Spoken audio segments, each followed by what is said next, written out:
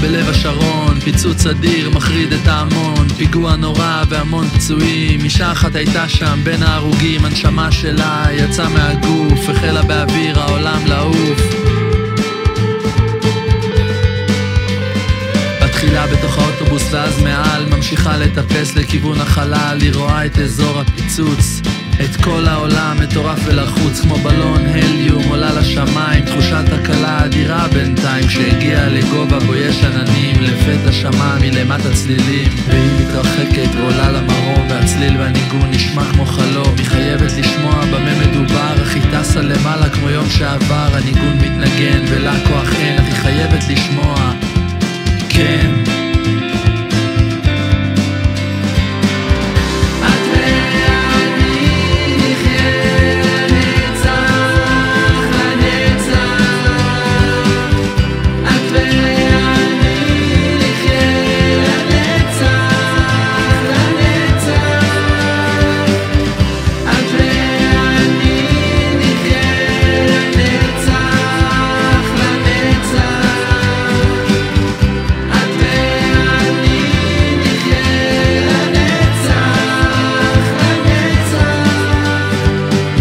מתאמצת לשבור את טבעה הקל, לעצור את המעוף הנמשך אל על, בכוחות לא היא יוצרת בשמיים, מתחילה להוריד את עצמה בשיניים, הניגון מתגבר והיא שומעת קול, אור עצום, היא תיתן הכל, הנה היא חוזרת לכיוון העולם, היא רואה את הארץ מעל כולם, אזור השרון, עמוד עשן, פקקים, אמבולנסים, היא הגיעה לכאן, והניגון גובר והכל מתבהר, שטה באוויר את המקום לאתר, שני רחובות מאתר הדמים, בני ישראל עומדים בפקקים, עוברת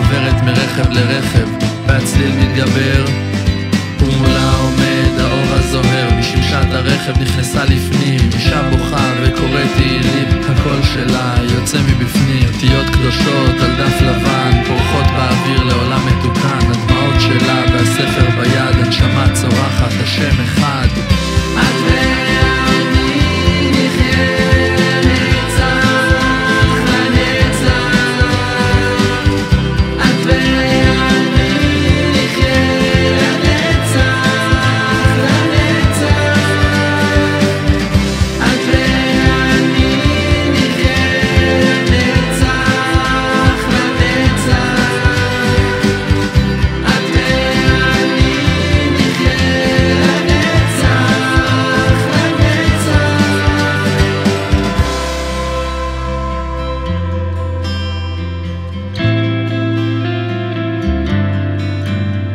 היא חזרה אל הגוף לעולם של טירוף, פצוע קשה, לבית חולים דחוף, ניתוחים ושיקום, מתאמצת לקום, אך אותו הניגון ממלא את היקום, מספר שבועות בבית החלמה, והנה יצאה בריאה ושלמה, מסרה את נפשה לברר פרטים, מי האישה שקראה תהילים למשרד הרישוי, מסרה מספר של הרכב שהיה שם ביום אמר, ב-144 לקחה את הכתובת, בפתח הבית עמדה רועדת. רציתי להגיד לך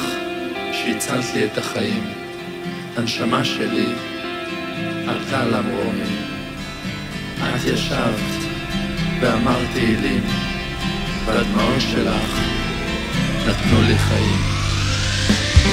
את